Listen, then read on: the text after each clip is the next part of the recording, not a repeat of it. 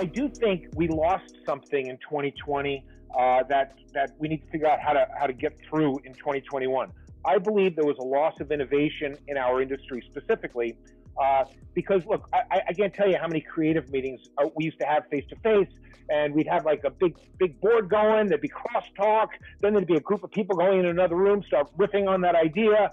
You know, that's not stuff you can do on Zoom. Zoom is very agenda based. You're going to see a big burst of innovation. It's one thing to grow a company because jobs just start coming to you, but it's another thing to understand how to take on that overhead and continue to grow.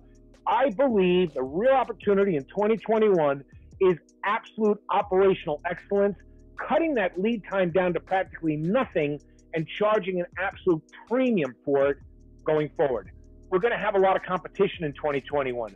You know, what's unknown is are companies with big backlogs going to dial back on their marketing because they don't need to market because they have a big backlog? You know, or are we going to see, you know, more aggressive marketing because they have a whole lot of uh, money right now?